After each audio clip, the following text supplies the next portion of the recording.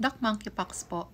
So ayun na nga po, nagkaroon na po ng monkeypox in the Philippines. The first case was reported today. So this is from the CDC. Ang monkeypox ay isang rare disease caused by infection with the monkeypox virus. So isa po itong mikrobyo, virus, parang COVID, parang flu, hepatitis, pare-pareho po silang virus. Ang mga sintomas po nito, makikita po dito, meron pong lagnat, pwede pong magkaroon ng pananakit ng ulo, or pananakit ng katawan, ng likod, pwede pong mamaga yung mga kulani, pwede pong nangangatog ng chills, parang pagod na pagod, pwede rin pong may mga sore throat, nasal congestion at ubo, or pwede magkaroon ng rash na parang tagyawat or blisters, yung parang may tubig po sa loob ng bukol sa um, katawan or sa skin. Pwede po ito sa muka, pwede sa bibig, and other parts of the body, sa hands, sa feet, chest, everywhere. So, ayon po dito, naglalast typically ang rash for 2 to 4 weeks typically.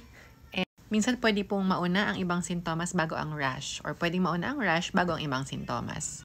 Now, paano to may iwasan? So, number one, avoid daw natin ang close or skin-to-skin -skin contact with people who have a rash. So, kung meron po kayong kilala na meron na pong pantal or merong rash, wag na po nating tatabihan muna or especially wag niyong hahawakan yung rash. Kung meron po kayong kilala na meron na pong monkeypox, iwasan po yung mga itong sinasabi dito, kissing, hugging, cuddles, or pakikipagtalik sa mga taong may monkeypox.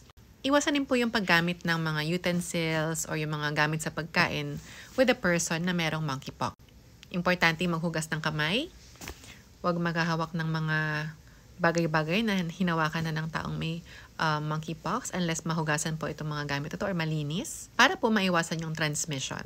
Ang monkeypox ay pwedeng kusang mawala at uh, importante po is kung meron po kayong ganitong suspetsya either sa inyo or sa mga kakilala nyo po ay ma-refer po agad sa kilala nyong doktor.